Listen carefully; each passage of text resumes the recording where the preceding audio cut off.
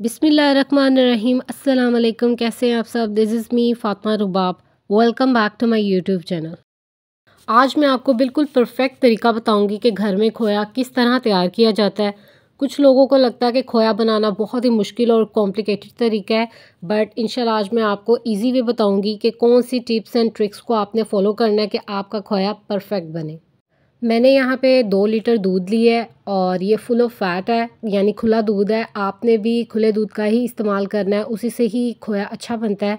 High flame पर आपने इसे तीन से चार मिनट बॉईल करना है। जैसे ही इसमें उबाल आएगा, आपने इसका फ्लेम बिल्कुल लो टू मीडियम कर देना है। फ्लेम इतना होना चाहिए कि आपका दूध बर्तन से बाहर ना निकले। बस इसी चीज़ का आपने मेन ख्याल रखना है और लो फ्लेम पर इसको पकने देना है। यहाँ पर ये तकरीबन हाफ़ दूध रह चुका है।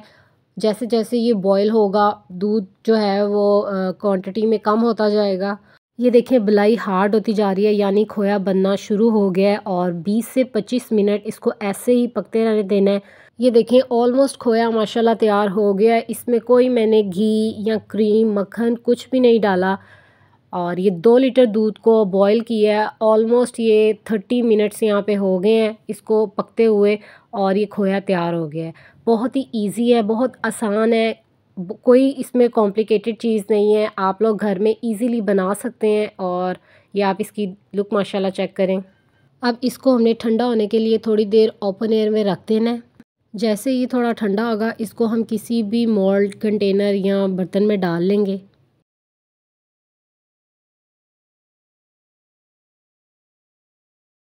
ये देखें माशाल्लाह इसका एक बिल्कुल रबड़ी सा, एक हार्ड सा खीर की तरह एक इसका टेक्सचर है।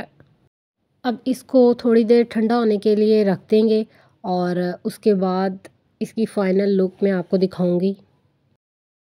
इसे मैंने 15 से 20 मिनट के लिए इसी तरह ओपन एयर में ढक के छोड़ दिया था ताकि ये अच्छे से ठंडा हो जाए और जैसे ये ठंडा हुआ है, ये आपस में जुड़ गया है, यानी एक बिल्कुल एक हार्ड फॉर्म में आ चुका है।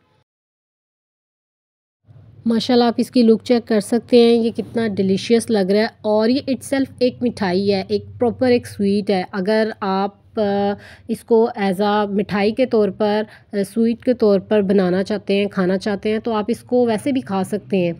बहुत आसान है, बहुत इजी है, बहुत जल्दी बन जाता है। Hardly it takes thirty to forty minutes इसका जो इंटायर प्रोसेस है और खोया आपका रेडी हो जाएगा।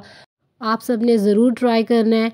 अगर आपको मेरी वीडियो अच्छी लगी तो मेरे चैनल को सब्सक्राइब करें। मुझे दुआओं में याद रखें, अपना बहुत सा ख्याल रखें। तब तक के लिए अल्लाह हाफिज़।